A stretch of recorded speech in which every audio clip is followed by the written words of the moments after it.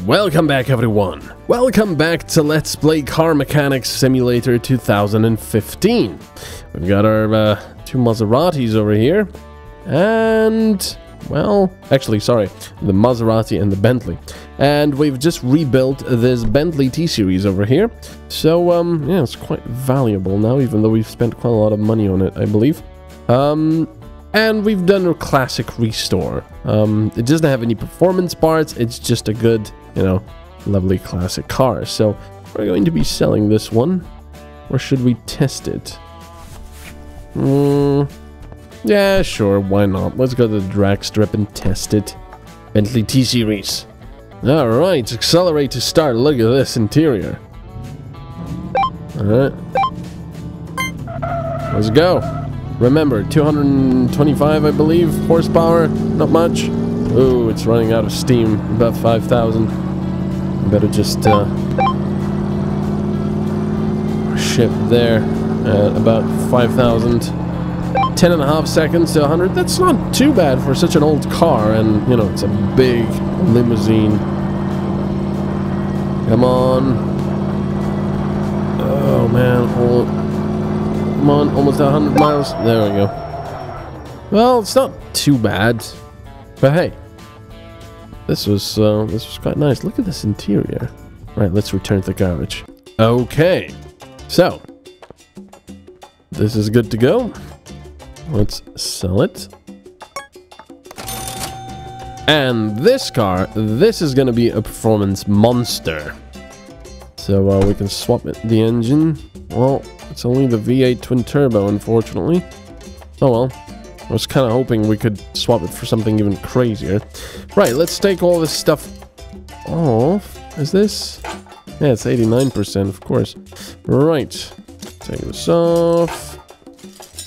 Rear bumper. There we go. All this stuff has to go. Oh yeah, it's the, the front fender as well. Look at this. Yeah. All right. Now let's repair this. Ooh, lovely. We've repaired everything. That's quite interesting. Actually, do we have any junk? Nope, we don't. Everything is pr in pristine condition. Look at that with black uh, I mean black uh, tail lights. That would be kind of interesting. I'm not really a fan of black tail lights. Or headlights, which is even crazier. Some people do that.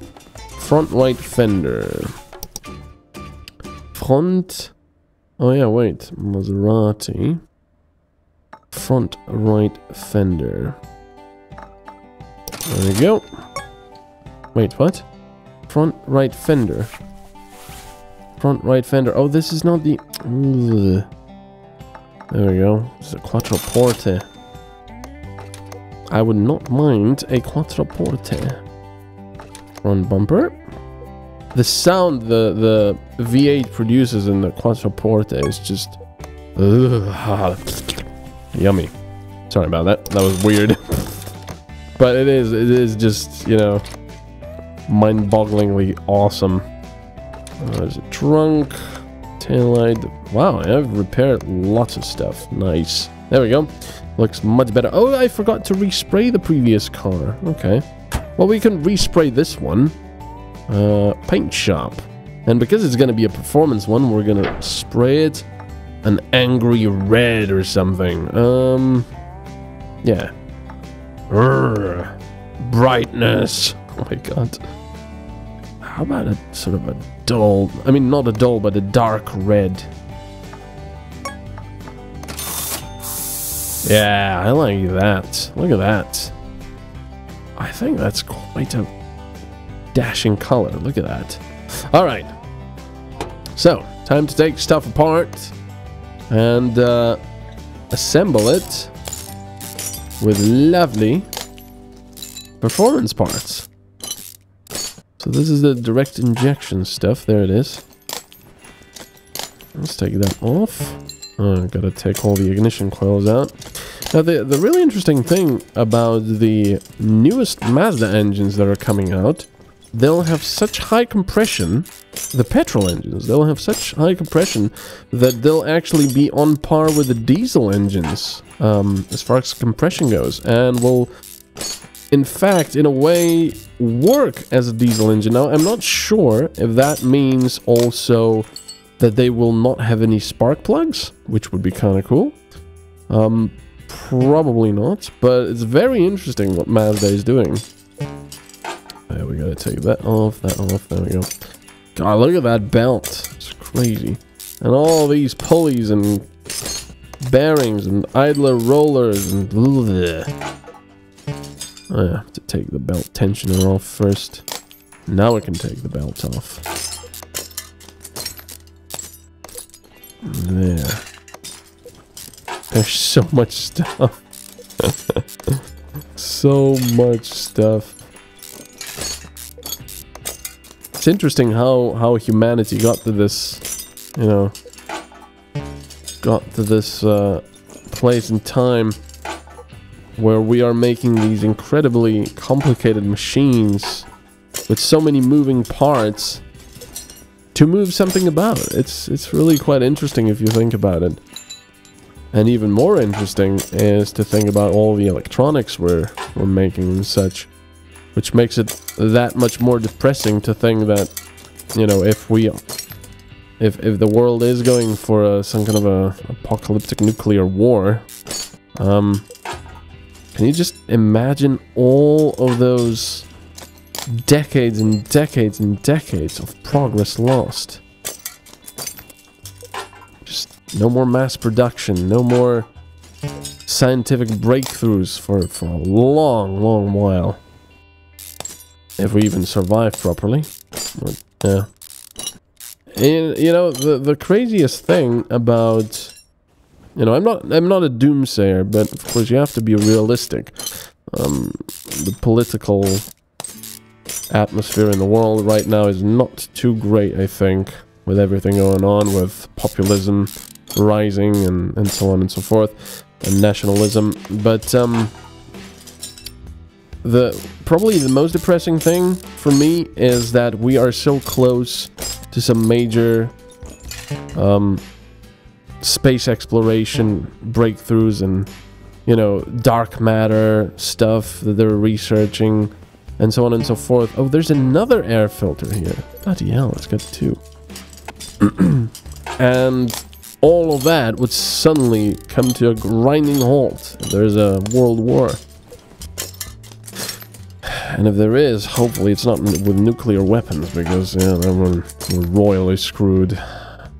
Right, anyway, I didn't want to, uh, to go all depressive, depressive on you, And there we go. Uh, and I said, there we go again. Perfect. Okay, I'll have to lift the car now.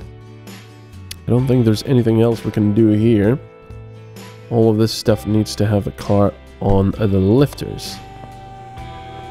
Look at that, red lifter and a dark red car. I really like that color. I think I really enjoy it, yeah. It's nice. Okay, so, quattroporte rims off. Actually, we might change the rims. Should I change the rims? Oh, you can all... No, you can swap the tires and the rims. Let's do the slick tires, because they're very road legal, of course. Yeah. Look at that. Alright. That's crazy. Alright. We can also change the rims though. I, I might I might do that. Uh, we'll see. Okay, so that comes off. I might as well start with the rear now, I guess. And then we'll go for the engine. It's gonna be a lot of little parts here and there. Oh man, look at that. Rubber bushing, this, that, blah, blah, blah. If you want to take that rubber bushing out, you'll have to take all of that other stuff out first. But it doesn't matter because we're taking out everything anyway. And then repairing it like crazy. There's a rear shock absorber. There. That is a heck of a lot of parts on this thing. Oh, just remove that so I can I can see a little bit better. let's let's just take all the rubber bushings out as well here. There and there. So many parts in such a small area here. Look at this. It's crazy. Axle. There we go. It is rear-wheel drive. It's not all-wheel drive. There. Think, think, think. Yeah, this this stuff, you know, comparing it to the previous, uh, the classic Bentley, you can see how much how much more complex all this stuff is. Um, suspension and engine and everything. It's pretty interesting to see. There we go. Yeah. Yeah, we can take that off. Why not? It's there. Uh, right, we'll need to take the drive shaft off first.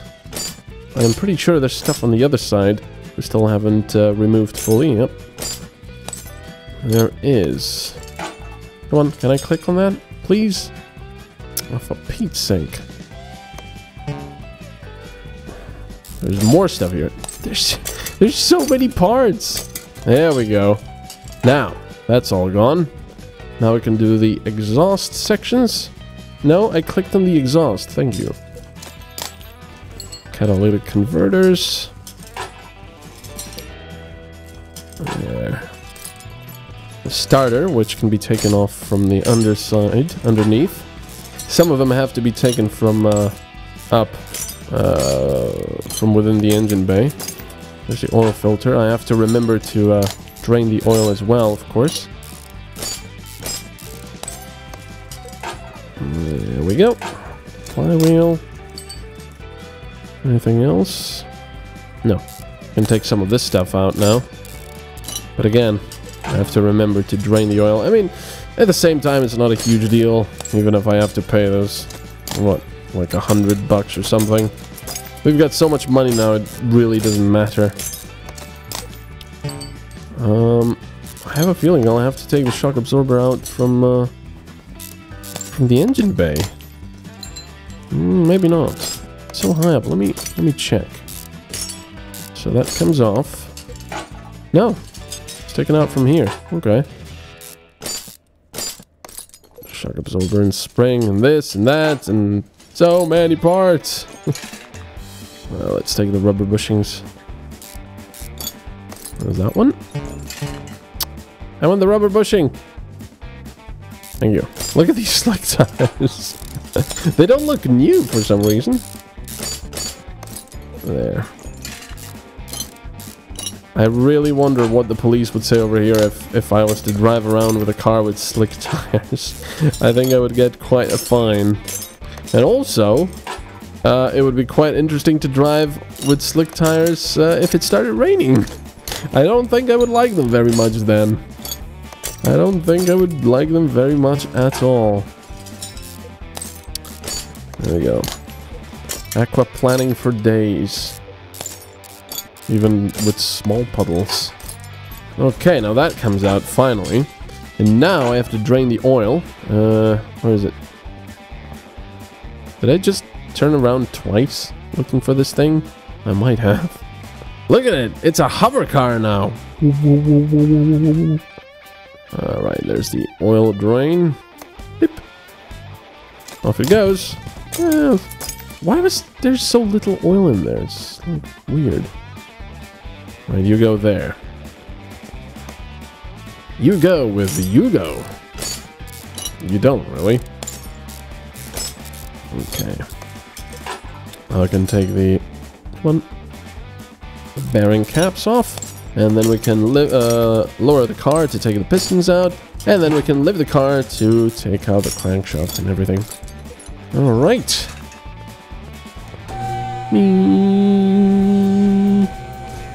Yeah, I like this color a lot. It's a nice color. There's the pistons. Now, this car will be fully, fully performance oriented as much as possible. Unfortunately, it's going to be useless at the drag strip because, well, it's rear-wheel drive only, and you can't really control it in this game for some reason. Even even if you lift off the throttle, it still goes crazy all over the place. There. Now we can take the engine block out, and the car has been completely stripped of all the parts. Brilliant. All right. Now, let's uh, repair what we can. Hopefully not destroy much. See, I can't repair everything. What? You managed to repair them? Yes, I know. I'm holding down shift. Don't tell me that. Uh, so many parts. My poor mouse.